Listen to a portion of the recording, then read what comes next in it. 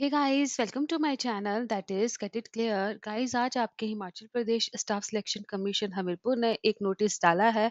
तो आइए हम जल्दी से देख लेते हैं कि क्या महत्वपूर्ण बातें इस नोटिस में आपके लिए बताई गई हैं। ठीक है गाइस गाइस हम यहाँ पर बात करें तो बोल के रखा है कि ये नोटिस फॉर इंफॉर्मेशन है of the candidate for the post of hostel warden जिसका पोस्ट कोड जो है वो है नाइन टू ज़ीरो ठीक है गाइस यहाँ पर नीचे बोल के रखा है कि जो रिटर्न टेस्ट है, इस पोस्ट के लिए वो कंडक्ट कराया जा रहा है इकतीस दस दो हज़ार इक्कीस को और वो भी इवनिंग सेशन में।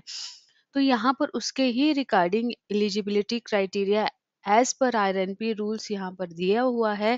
तो नंबर वन हम यहाँ पर बात करें तो मिनिमम एजुकेशनल क्वालिफिकेशन की बात की गई है एज पर आर एन पी रूल्स बोल के रखा है कि जो भी आपका कैंडिडेट है, उसके पास बैचलर डिग्री होनी चाहिए। पास होनी चाहिए उसकी bachelor degree from recognised university, ठीक है? नोट में यहाँ पर बता के रखा है कि कैंडिडेट आपका एलिजिबल तभी होगा उस पोस्ट के लिए अगर उसने क्या किया होगा? अपनी मैट्रिकुलेशन एंड प्लस टू जो है, वो किसी ऐसे स्कूल या इंस्टीट्यूशन से की होगी जो सिचुएटेड होना चाहिए आपका विद इन हिमाचल प्रदेश। पर यहाँ पर ये भी चीज़ बता के रखी है कि जिनके पास हिमाचली बोनाफाइड है, उनके ऊपर जो है ये कंडीशन अप्लाई नहीं होती, ठीक है? नंबर टू बोल के रखा है कि एज जो है आपकी वो 18 से लेके 45 इयर्स पर होनी चाहिए। वन वन 2021 की यहाँ बात कर दी गई है, ठीक है? आपको पता है कि रिलैक्सेशन मिलती है कई कैटेगरी को तो उनको वैसी रिलैक्सेशन मिलेगी।